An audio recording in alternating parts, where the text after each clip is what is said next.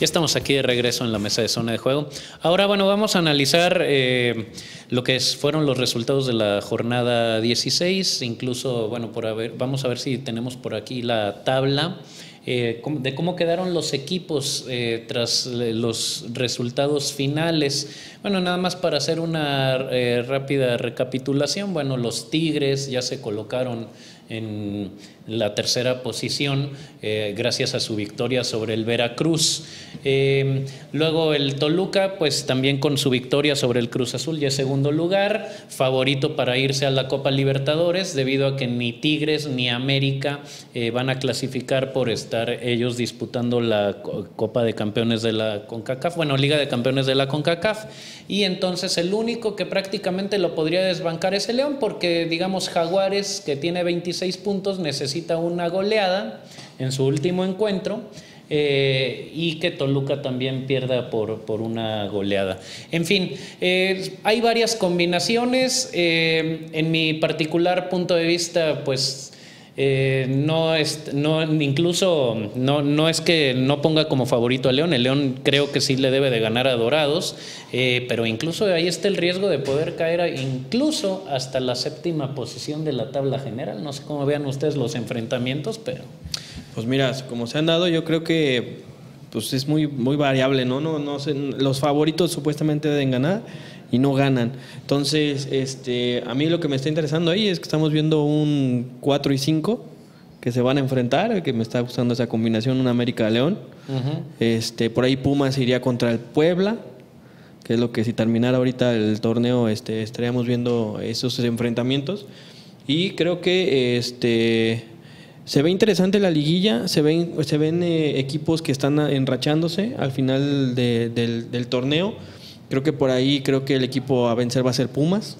Este, mostró durante las 17 fechas, bueno, 16 fechas que, este, que es un equipo contundente, que es un equipo seguro atrás, que, que el que Picolín se sigue, este, eh, sigue rezándole a su santo, entonces este, muestra seguridad en la parte de atrás. Y bueno, los delanteros, que es este, el buen Herrera, el buen Britos, creo que son los que manejan ahí la liga en cuestión de la delantera y creo que va a ser el equipo a vencer, el buen Pumas.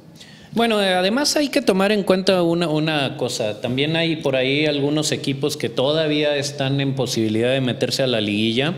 Y que, eh, por ejemplo, Pachuca, porque además tiene dos, dos partidos pendientes. Entonces, este, por ahí pudiera darse una sorpresa. Sí, fíjese que fue una jornada muy interesante. No hubo empates. A estas alturas del, campeonato, varios equipos estaban jugando la posibilidad de, pelear por... Solamente quedan tres boletos para entrar a la liguilla, hay que decirlo. Pumas, Toluca, Tigres, América y León ya, están en, la liguilla, en la fase, en la fiesta grande de fútbol mexicano. Quedan tres boletos solamente.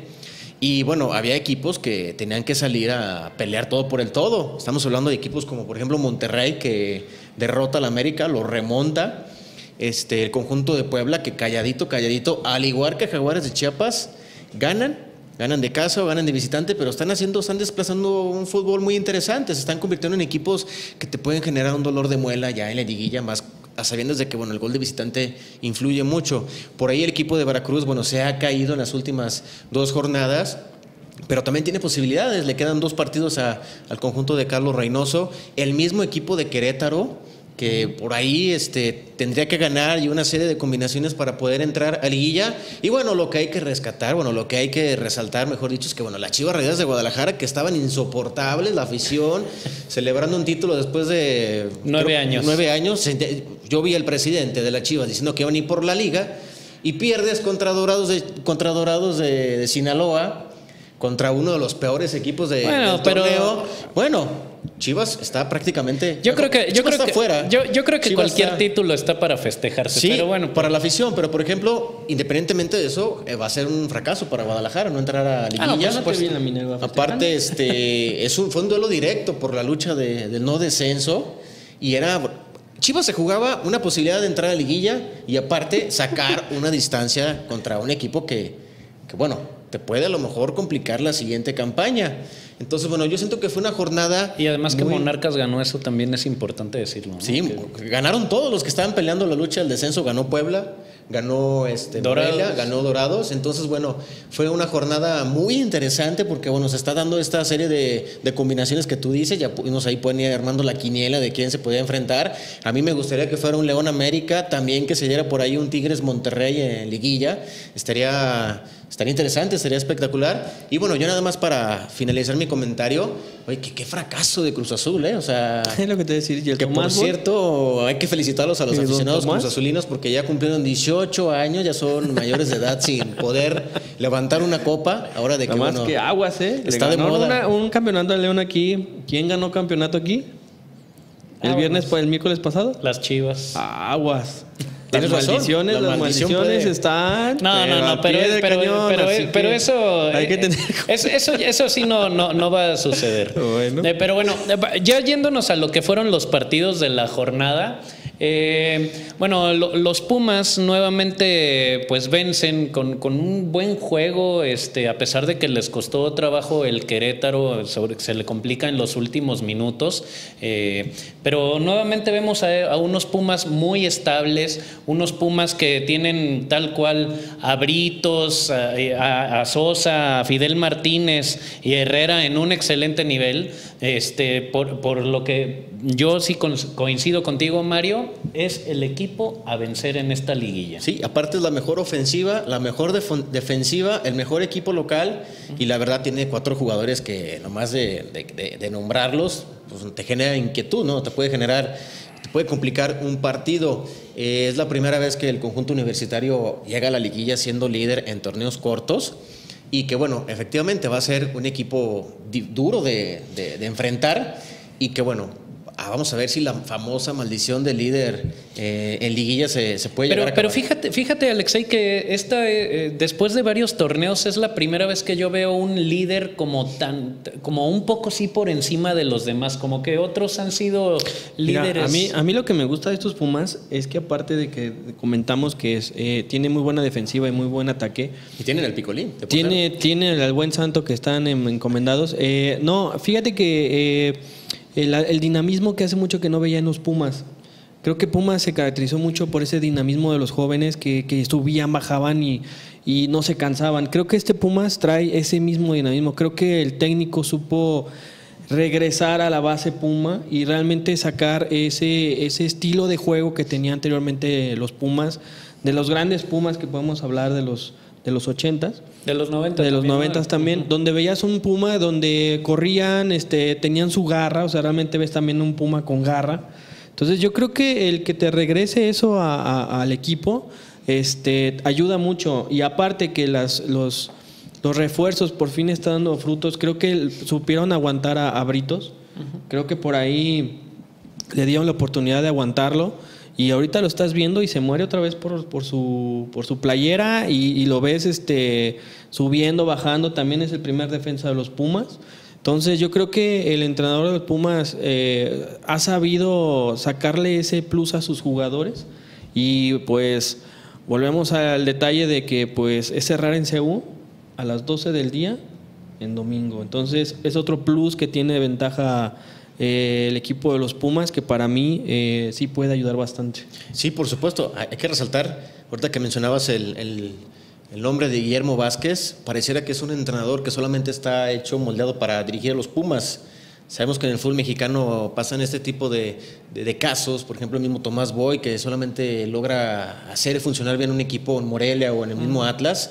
Guillermo Vázquez probó suerte con Cruz Azul, no le fue tan bien como él hubiera, hubiera Bueno, es querido, que por ahí pierde una Cruz final. Azul le va mal. Pero bueno, y- llega Guillermo Vázquez y en un año, o sea, todo lo que está haciendo. Él sacó un equipo de Pumas que no estaba teniendo buenos resultados, que estaban ya metidos en problemas de descenso.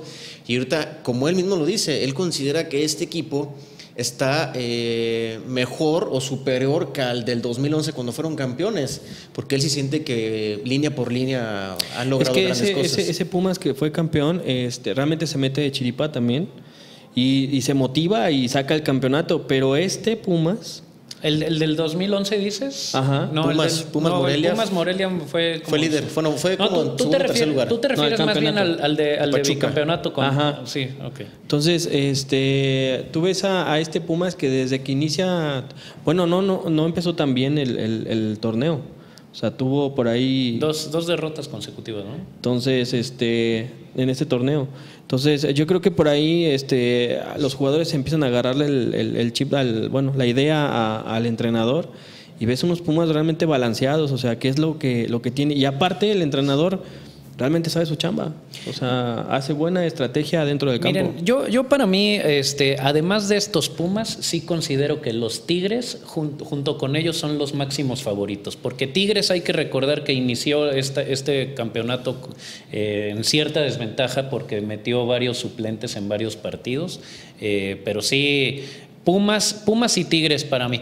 Pero otro, otro, Y fíjate que yo le agregaría Toluca también. Pero un, que bueno. un escalón un poquito más abajo. Es, ¿no? es sublíder. Bueno, sí, pero, Pero- no, no tuvieron la, las- Bueno, Cardoso. Bueno, desde que llegó Cardoso a Toluca, siempre los ha metido liguilla. bueno, No, por ahí no se les ha perdido una final de Conca Champions contra Cruz Azul. No se le ha dado esa oportunidad de llegar a una final, pero yo también siento que bueno, Toluca a lo mejor no se le da esos reflectores por no invertir tanto en jugadores. Que bueno, eh, llama, la, llama la atención que todos volteen a ver al Tigres por, por lo que está haciendo, por la cantera que tiene. Eh, pero yo siento que también Toluca. Y por ahí a lo mejor el equipo de Monterrey, si se logra meter, va a ser un, un Fí- caballo negro. Fíjate que eh, precisamente era lo que iba a comentar eh, Alexei. eh, el Monterrey está subiendo mu- muy, muy, mucho de juego. Precisamente en el partido que, que tuvo contra América este sábado, la verdad es que, bueno, las águilas se van al frente en el marcador ahí al minuto 6, ahí con un golazo de, de Darwin Quintero. Pero la verdad es que Monterrey se vio muy superior al América, siendo que, bueno, ya sabemos que el América de por sí tiene buen cuadro, no es mal dirigido. Entonces también considero, eh, ahí, ahí pensando que tienen a Cardona, que tienen a Pavón, que tienen A Funes Mori. a Funes Mori, eh, Gargano y demás, sí puede ser un equipo muy peligroso. Oigan, y por ejemplo, bueno, ya hay cinco calificados, restan tres, tres lugares, Jaguares y Puebla dependen totalmente de ellos. ¿Quién consideran ustedes que puede ser el, el octavo invitado? Porque bueno, Monterrey visita a Toluca. Va a ser un partido complicado para los Rayados. Y por ahí a lo mejor Pachuca, el mismo Veracruz. Yo creo que entrar. Jaguares va a meterse. Bueno, es que, bueno, por- Jaguares está en la sexta posición sí, pero Jaguares... y cierra en casa. Cierra en casa, está, eh, está subiendo de nivel de juego. Eh, yo, yo creo que Jaguares. ¿Quién es atrás abajo del Puebla? Mon- Está Monterrey. En la octava posición. Monterrey juega de visita. ¿Contra quién va el también. Puebla? Puebla, no, no, no recuerdo contra quién va. Abajo de Monterrey eh, viene lo que es Veracruz, Morelia también. Y este, Yo creo que Monterrey. Y el último Veracruz. Sí, nada Yo más que, creo que Monterrey, Monterrey. Monterrey tiene un cierre difícil mientras Jaguares este, Y que ojalá le eche la mano a León, ¿no? Que Monterrey vaya y le gane a Toluca. Para que León haga su chamba ganándole a Dorados. Bueno, vamos a ver si, ¿Para si el Toluca Para, pues, la para ir a la. Copa Libertadores. Pues no queremos dar, dar güey, vergüenzas en la Libertadores. Pues, Bueno, o sea, yo, yo eh, coincido ¿para qué eso. que Yo, yo yo coincido que León no debe ir a o Libertadores. a menos no que cambien de técnico en la siguiente temporada. Puede bueno, ser.